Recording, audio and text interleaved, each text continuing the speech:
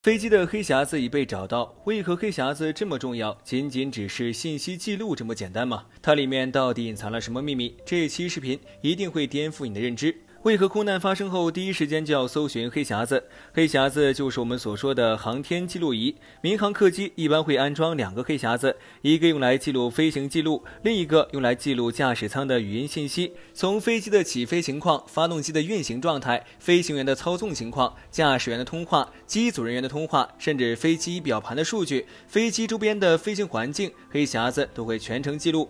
飞机是高空飞行，飞行速度极快，一旦发生空难，很可能就会机毁人亡。想要调查事故原因，只能靠黑匣子里的记录数据。据航天局规定，黑匣子在断电之前，里面必须要保留两个小时的音频记录和二十五个小时的飞行数据。这些记录可以通过专业设备解析出来，找出空难真相。这也就是为何空难发生以后，人们会竭尽全力寻找它，是为了调查事故真相，给遇难家属一个交代，让逝者安息。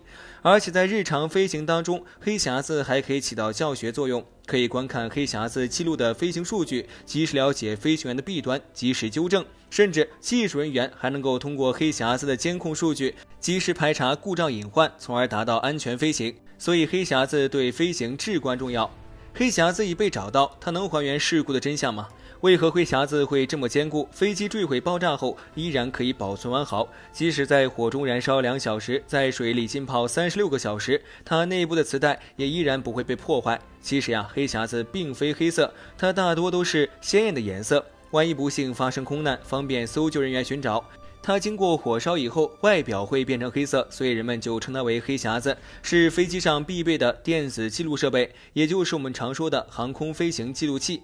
飞机从起飞到平安落地，还有机上人员的对话，全部由它记录保存。黑匣子外壳坚硬，重量在二十公斤左右，耐高温、耐火烧、耐撞击。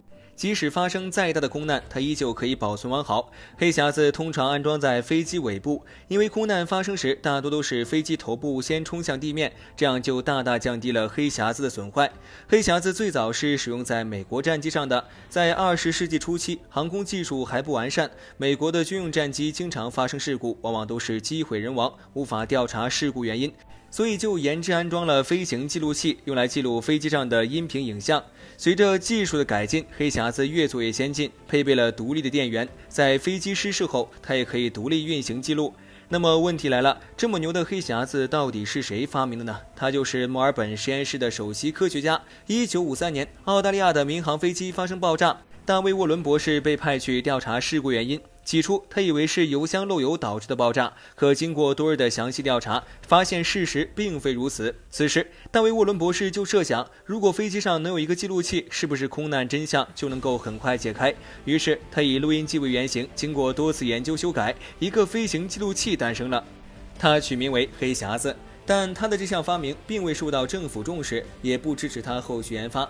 大卫·沃伦十分难过，他的父亲就死于一场空难。更绝望的是，空难的原因无人知晓。他深知空难带给一个家庭的伤害，于是他长大后，他走上了研究飞机飞行的道路。为了能让黑匣子不断改进，他前往英国继续研发。终于在1958年，他研发的黑匣子在飞机上得到广泛运用。此后的很多年，黑匣子的技术不断被改进，一次次创新。到如今，它已经成为了飞机的标配。科研无国界，感谢每位科学家的坚持与付出，才能让遇难者家属了解事故原因，得到一丝安慰。好了，今天的视频就到这里了，欢迎留言评论，点关注不迷路，我们下期再见。